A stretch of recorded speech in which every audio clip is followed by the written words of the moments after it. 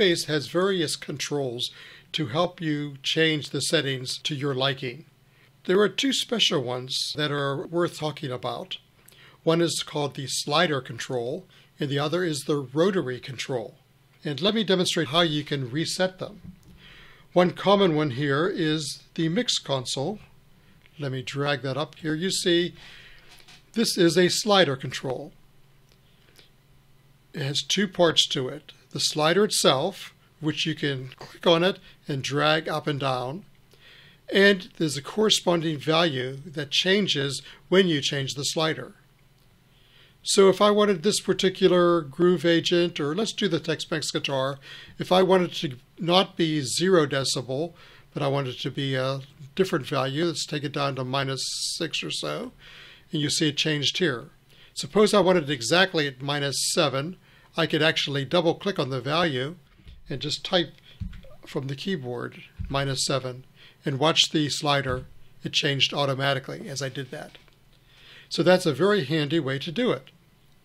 Now, there are sliders throughout Cubase, and at various times, if you want to go back to a default value, for example, in the fader, a default would be zero decibels, all you need to do is hold down the control key and click on either the slider or on the value.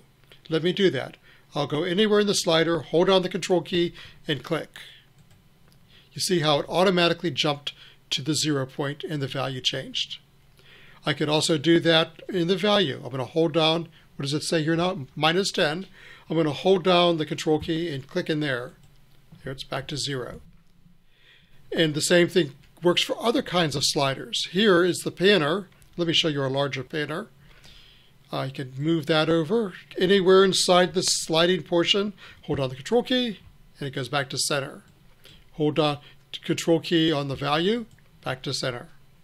And you'll see this throughout. For example, here's the Halion Sonic SE. Uh, there's values, move that, hold down the control key, it goes back to center. And so the, you'll see this everywhere, but not just sliders, but there's also rotary controls. For example, here is the Studio EQ. It has these rotary controls, which is very similar. You hold down the mouse and you can drag up and down to change the value. And as it changes, the value itself changes too. And the same way, just like a slider control, you can double click on the value and change that. Let's make that 12,000 and hit the enter key and it's changed. And now to reset it back to original value, the exact same thing. Hold down the control key and click on either the control or on the value. Here we go. It goes back to the default that's set for it, which is 10,000. And you'll see it here. You'll see it throughout the various Cubase controls. One more I'll show you is in Groove Agent SE. Here we have rotary controls. Here's a panner. Here's a, a coarse setting here. Let's do 7 semi. All I got to do again, hold down the control key and click, and it goes right back. So it's a handy little way to reset your various settings back to a standard starting point.